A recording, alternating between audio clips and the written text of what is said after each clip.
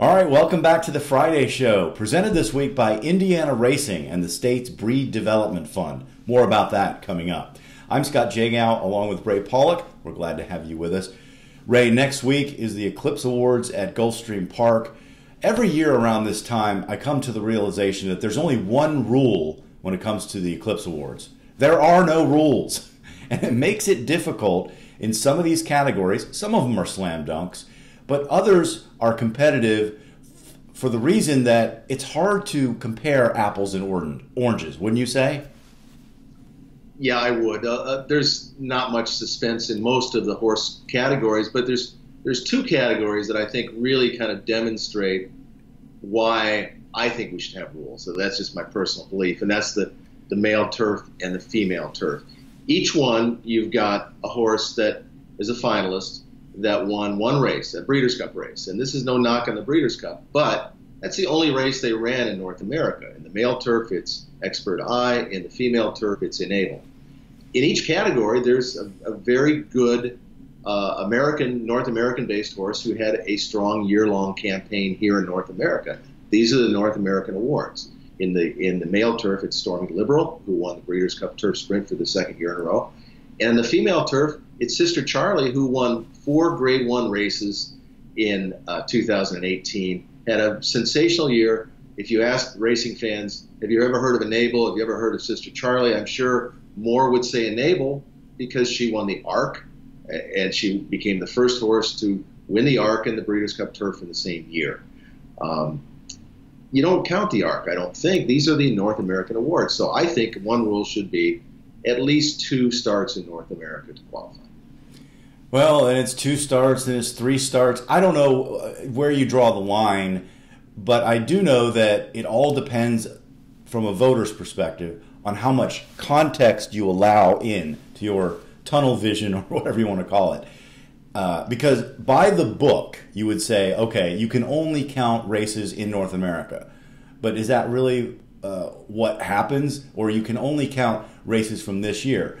But with Stormy Liberal, for example, in the male turf, I think I would consider in the back of my mind the fact that he won the Breeders' Cup Turf Sprint last year and then was able to duplicate that feat this year. And I would give some weight to that, even though it was last year, I get it. But the fact that he did it back to back, turf sprint, very chaotic race, very difficult to do, and he finished winning four uh, uh, races in a row, ending, culminating with that Breeders' Cup uh, win. And then there's Enable. Do you count the turf, or the arc rather? I mean, you shouldn't by the book, but how do you leave it out when she accomplished something no other horse has accomplished before? Winning that prestigious race in France, shipping to North America, and then winning three weeks later the Breeders' Cup Turf. And she was the star of the Breeders' Cup coming in and going out of it. So, again, you know, I get where you're coming from. Uh, and I think Sister Charlie probably should win, but it's a subjective vote, and I bet Enable will win. You know, you could say the same thing about Justify. Uh, he became the first horse since Apollo to win the Kentucky Derby without the benefit of a race as a two year old. But these are the awards for 2018. You're not supposed to look back and say, well, he didn't race in 2017. This is an amazing feat that he accomplished by not racing as a two year old, still winning the Kentucky Derby. Uh, I, I, don't know. I I think maybe bonus points is what is what happens in, in some of these cases. People look at what Stormy Liberal did or what Justify did in not in not racing it too. So I don't know. I think I think rules would benefit the Eclipse Awards. I know they're not broken necessarily, but if Enable wins the female turf division, I mean, she's a sensational horse. She deserves all the accolades, especially in Europe where she's based. And Sister Charlie doesn't win. I think something's wrong with the system. Well, who won the Eclipse Award for Horse of the Year when Blame won the Breeders' Cup Classic? It was Zenyatta who lost that race. But she was the star power that year, and she was the filly that accomplished so much and came up this short, and people rewarded her for, for that effort. So again, I and I, in fact, I I believe I voted for her that year.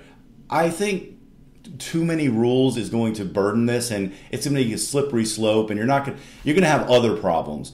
I'm almost of the mind to leave it the way it is and let people vote what they want to vote because they're going to do that anyway. I mean, some of them are going to be lazy and just look at the standings and say, "Oh, the top earner that should be the number one jockey or outstanding jockey," and other people are going to think about it a little bit more. Uh, Bob Baffert, for example, won the Triple Crown this year. He had a 32% win rate and 500 fewer starts than Chad Brown, who's probably going to win the award. How do you compare the two? I mean, 500 starts difference. In fact, Steve Asmussen, who's one of the other finalists, had a thousand more starts than Chad Brown. he didn't have nearly the wins to correlate with that. Um, so I don't think he's going to win, but he's one of the finalists, and I don't see how you compare the two. Yeah, I think that uh, Steve Asmussen, if nothing else, should get the Reader's Digest Award for being able to read condition books uh, to that extent. I mean, geez, that's an amazing number of starts for a guy. But it's I think the human divisions are the most um, difficult. Not just not just the trainer, but leading owner and leading breeder. How do you compare someone like John Gunther, who bred Justify, uh, with someone like Winstar, who has a huge breeding operation? John Gunther, you know, with a small broodmare band, not only won uh, the Triple Crown races as breeder of Justify, but he had uh, Vino Rosso, the, the Wood Memorial winner, Grade Two winner. He had two other Grade Three winners, and he had a homebred that won for him in Royal Ascot, the Grade One uh, St. James's Palace. So, of course, maybe you're not supposed to count that race because it happened in Europe. Uh, it's very difficult, I think, for the voters to compare a John Gunther breeding operation with a Winstar, just like you're saying about Chad Brown and Bob Baffert. Raw numbers really shouldn't shouldn't be the deciding factor, in my opinion. And these are awards. I mean, this isn't life or death. It's not like uh, it, it's such a big deal. I mean, it is a big deal, but in context, we're we're handing out awards to people. They are honors. It's not it's not supposed to be definitive. Uh, if it was, then you would just start the year and say, "Here's the criteria," and then whoever has the you know top who's at the top of the standings, then you win. But it's not like that because Dale Romans, the year he won trainer, wasn't the leading earner. He didn't have the most graded stakes wins that year. But the voters thought he deserved it because he campaigned several top horses and had a, a fantastic year. You know, we look at Justify. He won the Triple Crown, but I think you talked about bonus points. I think he's being penalized in some people's minds for American Pharoah having broken the curse in in uh, 2015, and so this accomplishment doesn't look quite as big compared to that.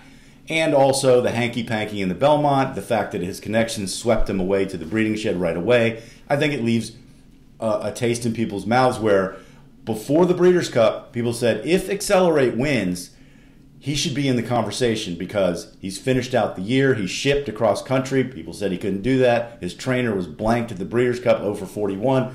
They all the doubters, and then he proved them wrong. So he earned his way into that conversation. Yeah, he did, and he should he should be in the conversation. I, I still think a, a triple crown uh, victory uh, sweep is is an enormous accomplishment. Just because it did happen in 2015 with American Pharoah shouldn't diminish what Justify did. Uh, and if you look at Justify, he had six starts. That's more than a lot of the other horses that uh, are up for Eclipse Award consideration in multiple divisions, including some of the older older male older male and female divisions. So you know, he didn't race 12 months, but he raced half a year. He had six starts and he never lost.